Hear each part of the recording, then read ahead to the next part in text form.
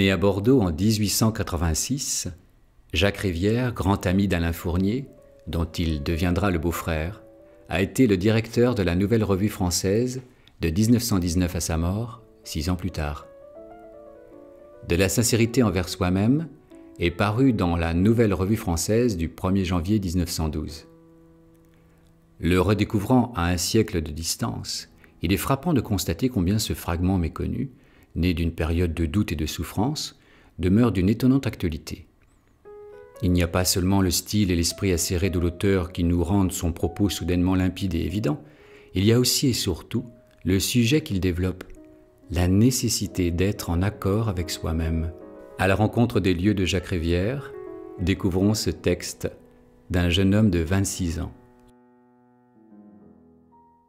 Il faut d'abord distinguer la sincérité envers autrui de la sincérité envers soi-même. Nous laisserons de côté la première, Telle qu'on l'entend dans le monde, elle est trop facile. C'est sans doute pourquoi on en fait une vertu. Elle consiste à ne jamais avouer de sentiments que l'interlocuteur n'ait pu prévoir. Un homme manque de sincérité envers nous lorsque les pensées qu'il nous montre ne sont pas celles que nous aurions à sa place. Telle qu'il la faut entendre, la sincérité envers autrui s'appelle la confession. Mais à ce mot, tant d'idées s'éveillent, et si grave qu'elle demanderait pour se développer, tout un livre. De la sincérité envers soi-même n'est qu'un des trois textes qui figurent dans le livre euh, réédité par le Festin. Euh, en fait, il est dans, ce texte sur un prolongement personnel, c'est-à-dire que c'est quelqu'un qui essaye toujours d'expliquer le monde euh, avec raison et qui va jusqu'au bout de ses raisonnements. C'est un texte qui illustre très bien ce, qu'est Jacques Rivière. C'est quelqu'un qui se regarde, qui essaye de se comprendre. Euh, Giuseppe Ungaretti, le, grand poète italien, disait qu'il avait le culte de la raison. Et dans la sincérité, en fait, il considère qu'être sincère envers soi-même, c'est aller jusqu'au plus profond de soi-même, c'est aller chercher jusqu'à ses défauts, c'est un peu se confesser soi-même pour être honnête. La sincérité envers soi-même est une vertu dangereuse. On ne peut pas la conseiller elle ne rend pas un homme plus sociable. Elle ne le fait pas bien venir de ses semblables. Elle n'est pas un de ces bons devoirs universels qui façonnent notre docilité. Pour l'essayer, il faut être secrètement choisi. La sincérité, c'est l'abandon à moi-même, l'obéissance au cours naturel de mes émotions, une pente aisée, l'accès complaisant à ma facilité intérieure. Elle ne me demande aucun effort, je l'exercerai comme on se détend. L'atmosphère littéraire et culturelle qui entoure la naissance de Jacques Rivière, c'est celle d'un milieu bourgeois bordelais. C'est que son père est médecin. Mais euh, je crois que l'atmosphère littéraire, un peu, euh, un peu étouffante, dans laquelle il vit, et c'est extrêmement euh, intéressant de lire le très beau texte qu'il écrit euh, dans euh, la NRF sur son enfance bordelaise, où il parle d'une ville molle et atlantique, euh, où il fait un, portrait qui est à la fois très émouvant et très décevant de, Bordeaux. On comprend très bien qu'il l'ait quitté. La vie intellectuelle et artistique n'y était pas extrêmement intense, jusqu'à une rencontre qui a été déterminante dans sa vie, comme elle le sera dans celle d'Alexis Léger, le futur Saint Jean Perse, comme elle le sera pour beaucoup de jeunes écrivains, qui est la rencontre d'un personnage complètement atypique dans euh, la, vie artistique et intellectuelle bordelaise de cette fin du 19e siècle et du début du, du siècle dernier, qui est la rencontre de Gabriel Friseau. La sincérité est un perpétuel effort pour créer son âme telle qu'elle est. Rien de plus menteur que le spontané, rien de plus étranger à moi-même. Ce n'est jamais par moi que je commence. Les sentiments où j'entre naturellement ne sont pas miens. Je ne les éprouve pas, j'y tombe d'abord comme en une ornière. Ils m'entraînent parce qu'ils sont commodes et rassurants. Ce sont mes secondes pensées qui sont les vraies, celles qui m'attendent, celles jusqu'où je ne vais pas. Il n'y a pas que les autres qui pensent en moi, au plus profond de moi, une basse et continuelle méditation, et dont je ne saurais rien si je ne fais effort pour la connaître, c'est mon âme. Elle est faible et comme idéale, elle existe à peine. Je la sens comme un monde possible et lointain. Dans quel état d'esprit a-t-il écrit de la sincérité envers soi-même Il est dans une période, il est, alors il est passé par Bordeaux après son retour de la Canale. À partir de cette époque-là, il y a toute une réflexion euh, qui euh, se fait sur, euh, sur être le plus proche de ce que l'on... savoir, essayer de, de savoir ce que l'on est vraiment euh, dans une période où il est euh, rentré à la NRF depuis euh, peu de temps, où il est secrétaire, où il a beaucoup de travail, où il est en contact avec beaucoup d'écrivains prestigieux comme André Gide, Schlimberger, etc. Et donc il y a toute une recherche sur son identité, sur son identité d'homme, son identité de chrétien, son identité euh, voilà, toute, une recherche qui commence à, cette époque-là et qui va aboutir à, un certain nombre de textes. C'est la même, pendant la même période, il écrit euh, des textes sur Bordeaux, il raconte ses souvenirs sur Bordeaux, euh, il essaie de chercher dans tout ce qu'il a été ce qu'il est à cette époque-là il y a un arrière-goût d'insuffisance en tout ce qu'il éprouve. Il comprend qu'il pourrait être plus authentique qu'il n'est, que d'autres parties plus cachées, plus étonnantes de lui-même pourraient être intéressées par l'événement. Mais il ne sait comment se saisir de cette réalité qu'il contient, car elle ne l'invite ni ne l'appelle. Et bientôt il perd jusqu'au désir de la trouver. Comme mon âme me dédaigne en effet, elle ne tient pas à vivre, elle ne me fera pas un signe tous mes sentiments, encore virtuels, pourtant déjà plus vrais que moi, me regardent avec ironie et semblent dire Oseras-tu nous connaître? Il faut que je les épie, que je les surprenne et que je m'empare d'eux. Il dit lui-même qu'il est toujours entre deux, tentations, celle de la, la, mystique et celle de la, la raison. Il a toujours été tenté par, euh, par la foi, mais en fait, je, pense qu'il n'a pas succombé à, la foi et, que, que, sa vie montre que ses hésitations aboutissent finalement à, un refus de la foi, contrairement à ce qui a été dit au, moment de sa mort. C'est une interprétation. Vous savez que quand il est mort, euh, Mauriac et Isabelle Rivière ont pensé qu'il euh, retrouvait Dieu et, d'autres comme Duhamel euh, ou, ou Paulan ont dit que c'était pas possible et, ou Martin Dugard ont dit qu'en en fait il n'avait jamais jamais retrouvé Dieu et que c'est quelqu'un qui a toujours été entre la, entre la passion et la, et la raison. D'ailleurs, il y a peut-être un petit point commun avec Mauriac, sauf que Mauriac avait réglé ce problème par la foi. On voit que c'est quelqu'un qui avait profondément le sens de l'autre, qui écoutait l'autre euh, et qui était quelqu'un d'extrêmement réceptif euh, à, la, à, la, différence, à, à, ce que représente quelqu'un d'autre. C'est vraiment un homme extrêmement ouvert, Jacques Rivière. Je crois que c'est quelqu'un de terriblement secret, je dirais même peut-être plus de pudique. Euh, je pense qu'il aspirait profondément à vivre, qu'il n'y est pas vraiment parvenu et que toute sa vie est dictée par euh, ce conflit entre la recherche de la vie et, la quête de l'esprit, la quête de, l'intelligence. C'est quelqu'un qui, qui a, un petit peu quelque chose aussi de, de Valérie, mais je pense qu'il y avait certaines passions euh, cachées chez lui. Sincérité, chasse subtile qui ne poursuit que des silences. Elle demande une agilité intelligente et jamais lasse, une présence d'esprit impitoyable. Parmi tout ce qui se tait en moi, elle gouverne, éveillant les sentiments qu'il faut. Elle évite les plus faciles parce qu'ils sont menteurs. Ceux qu'elle doit trouver ne se montrent pas. Elle essaie plusieurs voies et de plusieurs. Les ayant tentées, elle se détourne. Elle a l'expérience du vrai, c'est-à-dire un toucher hésitant qui finit par ne pas se tromper. Rien n'est plus imprévu que moi-même. Je n'aurais jamais imaginé un tel visage. Pourtant, quand la sincérité me le présente, je ne songe pas à un instant à le renier. Voici bien l'inconnu que j'étais, et si près de moi. Comment aussi eussé-je deviné que des sentiments si extrêmes, si difficiles les uns aux autres, pouvaient s'allier pour si bien faire une seule âme? Alors Gabriel Friseau, euh, c'est un propriétaire terrien du, Libournais. C'est quelqu'un qui est, euh, qui, est né à Branne et qui a fait toutes ses études au lycée Montaigne avec Francis Jam, qui a donc une amitié très étroite avec Francis Jam, qui part Francis Jam faire la connaissance de Claudel et par Jam et Claudel la connaissance de Gide. Donc il y a une espèce de trinité Jam Claudel Gilles qui a fait l'objet d'une publication très importante, la correspondance triangulaire, Jam Claudel Gide.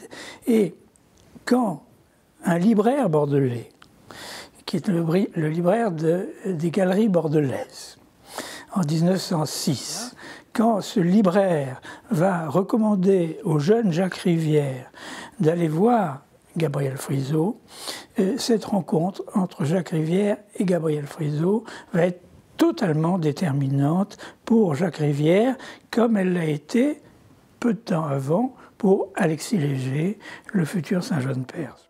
L'homme sincère n'est pas celui que l'on voit toujours élancé, toujours prêt à répondre, toujours intime avec son cœur et avide de le livrer. Il n'est pas si pressé, car il sait qu'il a beaucoup de besogne. Il n'est pas l'homme du premier mouvement, il ne tient pas son âme une fois pour toutes, il ne l'a pas apprise par cœur. Mais il l'a construit à neuf pour chaque occasion. Il doute, il attend, il s'applique. Il est plein de calculs, comme un financier. Il s'arrête à chaque étage de lui-même, il y choisit ce qu'il lui faut pour former sa vérité. Ou bien comparons-le à un fin chasseur joyeux qui dépiste ses sentiments, les suit, les force, les ramène. Donc il y a toute une espèce de, de, cercle euh,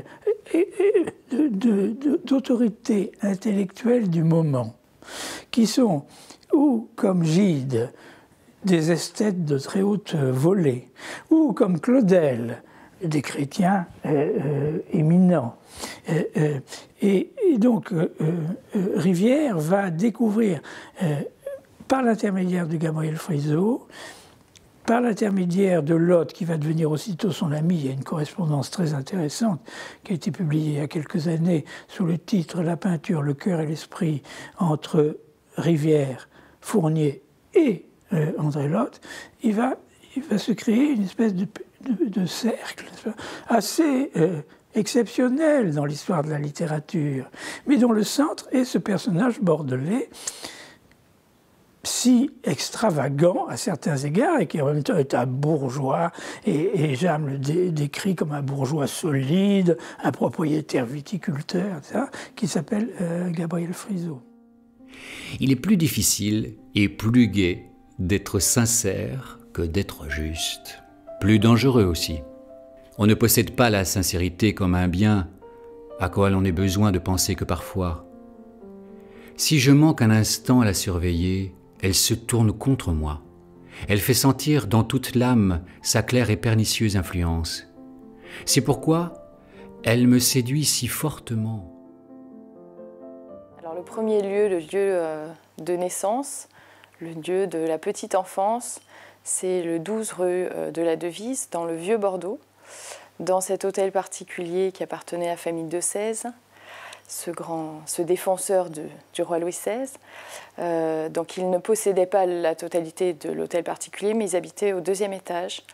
Et euh, dans un certain nombre de textes, un en particulier qui s'appelle Les Beaux Jours, chaque rivière décrit cette maison qui est celle de sa petite enfance avec son père, sa mère et petit à petit c'est son frère, sa sœur et son petit frère Marc. Donc cette maison, il va euh, y habiter pendant euh, un certain nombre d'années et il va y vivre euh, quelque chose d'assez douloureux qui est la disparition de sa mère en 1897. Alors qu'il a à peine 10 ans, enfin il va avoir 11 ans, oui il a 10 ans. et donc il va continuer à vivre dans cette maison jusqu'au remariage de son père quelques années plus tard, 5 ans plus tard. C'est sa tante maternelle, tante Michel, qui va euh, s'occuper des cinq enfants. Leur père euh, laisse un petit peu la gestion euh, des enfants en bas âge, parce que Marc n'a que 4 ans lorsqu'il perd sa mère, laisse la gestion des enfants à, la tante maternelle. Donc c'était une maison heureuse. C'est une maison où il a vécu des, moments heureux et agréables en famille, dans une famille unie. C'est aussi une maison qui va euh, commencer à mettre euh, dans son esprit une certaine nostalgie, une certaine euh, souffrance, une certaine douleur qui est due beaucoup à la disparition de sa mère en 1897. De la sincérité d'abord, je dois craindre qu'elle ne m'ôte toutefois à mes sentiments. Elle entre en moi comme une lumière habile à tourner tous les obstacles. Elle débrouille si bien toutes mes ombres que je vois trop parfaitement mes pensées. Sous chacune, il y a une lueur. Déjà quelqu'un en moi sait d'où elle vient et ce qu'elle veut, et la regarde, averti. Ce double mystérieux, plus instruit de moi que moi-même, on ne le trompe pas. Si profond que je sente, il m'a déjà prévenu. Il n'ignore pas où je veux en venir, il m'épie toujours d'un peu plus loin qu'où je puis atteindre. Il ne me faut plus espérer de ces émotions lourdes qui montaient de moi-même, inconnues et toutes chargées d'étonnement et bonnes à découvrir. Plus de ces sentiments bien aveugles, bien bas dans l'âme, bien confondus avec elle, bien proches de ses assises. Il ne m'est plus possible de souffrir à mon aise, obscurément et seul. Car j'ai appris à m'aviser de tout. Dans Bordeaux, euh, l'orphelin euh, ne se sent pas trop, si ce n'est que euh, son père, lorsqu'il se remarie, il épouse une veuve des Chartrons et qu'il va déménager, vendre cet appartement euh, dans, lequel ils ont vécu, euh, et que sa belle-mère, celle qu'il appelle la BM, parce que vraiment il ne la supporte pas, il ne l'accepte pas, va vendre absolument tout, va faire disparaître tous les souvenirs d'enfance, de petite enfance, les jeux, les livres, les souvenirs de leur mère, et elle va faire déménager son nouvel époux, donc Maurice, dans euh, la rue Hustin, qui est euh, à côté du jardin public, qui est dans un quartier totalement différent alors que dans la rue de la Devise, il était euh, au cœur de sa famille, euh, de sa famille maternelle, puisque euh, dans la rue du Cancéra, qui est la rue juste derrière, il y avait son grand-père et sa grand-mère, bonne maman bleue, grand-père très très aimé, qui le protégeait, qui l'a soutenu toute sa vie et qui a été quelqu'un, une figure masculine très importante pour, pour Jacques Rivière. Voir disparaître tous ces souvenirs, c'était quelque chose de très très douloureux euh, qu'il aura beaucoup de mal à supporter. Et lorsqu'il va être obligé de revenir quelques années plus tard, après avoir rencontré Alain Fournier à Paris, avoir fait euh, Hippocagne et Cagne au lycée La Canale, et qu'il est obligé de rentrer dans la rue retourner dans le giron paternel rue c'est quelque chose qu'il aura beaucoup de mal à supporter et qu'il acceptera très très peu. Il va essayer très rapidement, une fois son service militaire terminé sa licence achevée, il va euh, décider de quitter par tous les moyens, partir, euh, rejoindre Paris et euh, quitter cette rue où il ne veut pas revenir. À ce premier danger de la sincérité, je peux échapper par la violence. Il ne faut pas que je tienne compte de ce savoir secret, parce que j'y assiste. Le spectacle, en est-il moins réel? L'homme sincère est toujours un peu plus vrai qu'il ne le pense. Il se voit mais il est ce qu'il se voit être. Cette interrogation, elle est, permanente. Et donc il y a eu une oscillation que, que Jacques Rivière soit grâce à Frisot, encore une fois, euh, directement ou indirectement, lié avec Gilles et lié avec Claudel, euh, c'est l'indication parfaite de cette hésitation dans laquelle va se trouver tout au long de son existence euh, Rivière. bien entendu, Gilles représente euh, une forme d'esthétisme qui a tenu une place très importante dans euh, la vie de Rivière, qui est un, qui est un homme de lettres. ce n'est probablement pas un écrivain extrêmement fécond, c'est des esprits les plus euh, euh, vigilants, les plus avisés, les plus attentifs à ce qui se fait en littérature euh, au moment où lui est vivant et au moment où lui a des responsabilités, en, notamment en matière de littérature, notamment à la NRF. Il est évident que sa correspondance avec Proust est passionnante parce qu'on constate à quel point Rivière a aperçu l'ampleur la singularité de l'entreprise proustienne.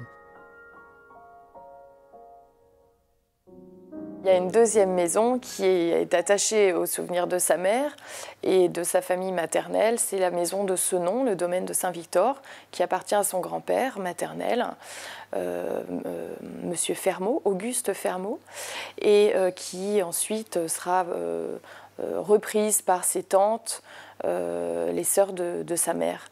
Donc euh, cette maison de ce nom, c'est euh, la maison des vacances, c'est la maison du bonheur, c'est la maison où on oublie la disparition de, cette mère, c'est la maison où on découvre un univers autre et où on, est loin de cette opposition à la figure paternelle qui va se développer à partir du remariage de son père. La moralité consiste à ne pas tenir compte de certains sentiments, à ne pas les apercevoir. Elle passe, elle laisse de côté, elle sait ce qu'il faut craindre, elle est une perspicace ignorance, elle pressent, avant que la conscience ne les atteigne, nos mauvaises pensées et nous en détourne. L'honnête homme est celui qui ne voit pas le mal dont il est capable. Être honnête, c'est n'avoir que des pensées avouables. Mais être sincère, c'est avoir toutes les pensées. C'est une pensée un petit peu complexe, hein, il faut bien le, reconnaître, dont il faut euh, apprendre à, suivre les, méandres. Et puis petit à petit, c'est une pensée qui devient relativement euh, limpide, euh, mais il y a un effort de, compréhension à faire pour quelqu'un comme moi qui est plutôt un amateur. Je distinguerai les, écrits de guerre. Il a été prisonnier, il a été fait prisonnier très tôt pendant la guerre. Et euh, c'est une période extrêmement euh, riche pour lui parce qu'il a été obligé de s'abandonner complètement, de se dépouiller complètement de tous les, de tous les excès, de toutes les parures. Il a été livré véritablement à lui-même et aux autres, à ses compagnons de, captivité. Et, cet abandon de soi lui a permis sans doute d'aller euh, vers la quête de, vers une quête de lui-même, euh, marquée par les événements, où il a voulu, là, voir d'ailleurs le, signe de Dieu. Euh, mais ce, texte est très à part quand même dans cet ouvrage. Euh, ce qui est intéressant, c'est toujours d'aller chercher un écrivain dans, dans, ses tréfonds, dans ses secrets. Et en plus, il faut surtout ne jamais perdre de vue que c'est une écriture extrêmement limpide, quand même, extrêmement claire, extrêmement précise. et que ça la rend quand même, peut-être de ce point de vue-là, relativement accessible. Il y a toutes les pensées dans une âme. Qui oserait à n'importe quel instant confesser à l'être le plus cher, le plus proche, son âme entière? Car rien n'est impossible en moi, il n'est rien à quoi je n'ai songé au moins une fois. Lorsqu'il va revenir après euh, la Canale pendant ces, cette année, euh, ces deux années de, licence et de service militaire qu'il fait, euh, qu'il fait ici à Bordeaux, il se demande comment on peut vivre dans une ville où il n'y a aucun de bussiste. C'est Saint-John-Perse dans, un, dans son hommage qu'il fait dans la NRF en 1925, qui raconte les deux rencontres deux rencontres très importantes pour lui, Saint-John-Perse, avec Jacques Rivière. Et donc la première rencontre, elle se fait à Bordeaux, chez Gabriel Friso. Et la seconde, il dit euh, dans cette ville qu'il aimait tant, et c'est la ville de Paris, et dans laquelle il est mort, et c'est la ville de Paris. L'âme est pleine de parodies et de maléfices, comme les eaux profondes. Elle a ses monstres et ses bouffons. La sincérité les ramène dans son filet avec les autres proies. Je prétends qu'il est meilleur de les connaître que de les ignorer. Jacques Rivière euh, critique beaucoup euh, cette ville de Bordeaux, mais Jacques Rivière a quand même été formé à Bordeaux. Et euh, curieusement, à la différence de Mauriac, il a été formé au lycée public de Bordeaux. Et il a eu un enseignement qui est malgré tout un enseignement classique, hein, même si c'est un enseignement qui ne semblait pas correspondre à ce que sa famille avait pu envisager pour lui. D'ailleurs, son père écrit dans, un certain nombre de lettres qu'il euh, reproche à son fils et reproche au lycée euh, d'avoir euh, instillé des idées subversives dans l'esprit de son fils, qui va commencer dès cette époque-là, de la première, de la terminale, enfin, lorsqu'il passe son bac, à remettre en question un certain nombre de choses, un certain nombre de valeurs, en particulier un certain nombre de valeurs chrétiennes, catholiques, un certain catholicisme qu'on lui enseignait euh, dans sa famille. Une âme vraiment grande n'acceptera pas d'être honnête à la façon dont on est aveugle.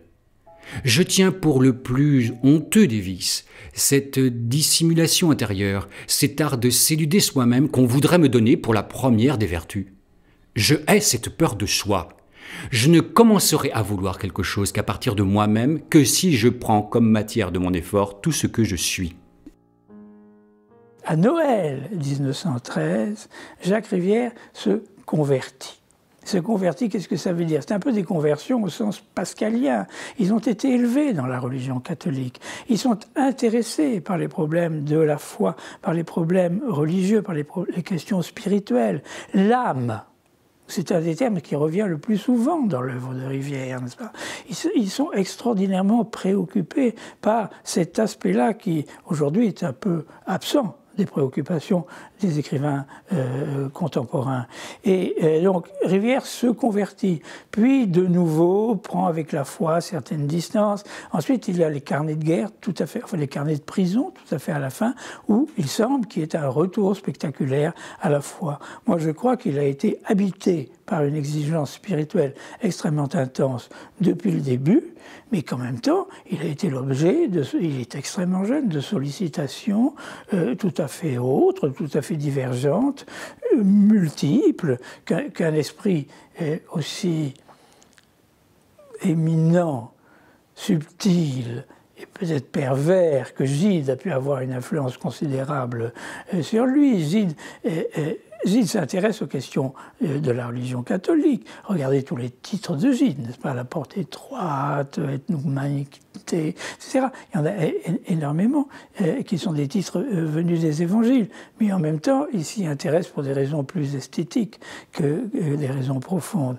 Et, Rivière a balancé entre, entre ces questions-là.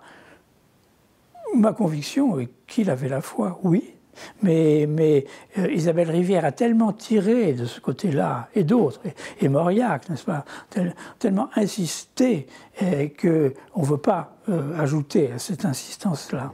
L'homme sincère n'ose plus toucher à ses sentiments. Il aura honte de les réformer, de plier le moindre d'entre eux. Il pense justifier ses actes raides, aigus, à la fois gauches et cruels, en disant ⁇ Je suis ainsi ⁇ il en vient à ne plus pouvoir même souhaiter d'être différent. Il abdique tout empire sur ce que lui propose son âme. Il obéit à tout lui-même, sans songer que peut-être le vrai lui-même serait celui qui se maîtriserait et brusquerait ses inspirations trop complexes. Ainsi s'écarte-t-il insensiblement de sa nature pour n'en avoir voulu négliger aucun élément. Il y a plusieurs styles chez Rivière. Il y a le style d'aimer son unique euh, roman, qui est un style euh, qui a peut-être un petit peu vieilli. Euh, je ne sais pas si c'est vraiment un, roman. Il a toujours aussi cherché à. Plus il vieillit, plus il veut aller vers le romanesque. mais il y a un style qui ne vieillit absolument pas, c'est le style du critique. ses textes sur Proust sont absolument admirables. son texte sur Rimbaud est aussi tout à fait admirable. C'est un critique d'une intelligence dévorante et, et magnifique. Mais moi, je n'estime rien au-dessus de vivre, et ce dont d'abord je ne veux rien laisser échapper, c'est de vivre. Le véritable honnête homme est celui qui sait employer son âme comme il faut aux événements. Il n'ignore rien de ce qu'elle contient. Ainsi, l'honnête homme rejette sans regret tous les sentiments que les circonstances ne font pas opportuns et trouve moyen d'engager dans l'affaire tout de même le meilleur de son âme. Mon sentiment est qu'en effet, Rivière euh, n'a peut-être pas été, n'a pas eu le temps d'être un grand créateur. Euh, bien sûr, euh, ces textes qui sont d'abord parus dans la, dans la NRF, en particulier de la sincérité envers soi-même, sont, sont, des textes qui, qui font preuve d'une grande subtilité dans l'auto-analyse. Mais moi, c'est pas, pas tellement ça que j'admire chez, chez Rivière, c'est son extrême lucidité de, critique, c'est-à-dire son regard sur la littérature de son temps, y compris sur la littérature euh, la plus euh, étonnante et la plus déroutante pour euh, les lecteurs de cette époque-là.